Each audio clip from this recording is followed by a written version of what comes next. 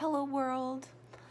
This is me saying that I am not going to do Vlogtober because if I tell myself that I am going to do Vlogtober, um, it's not gonna happen, first off. Second of all, I have not vlogged or made any content in a while. I needed a break real quick. Um, I also think that editing things stresses me out to the nth degree. So, but we're not here to talk about that. We're here to catch up about things. I am about to go get my eyebrows done with my friend Joe um, at this local place.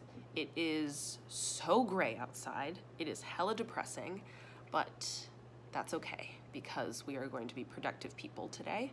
Um, it's also like 5.06 p.m. So yes, fun times.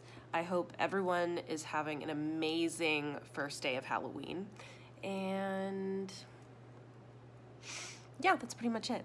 So have an amazing day.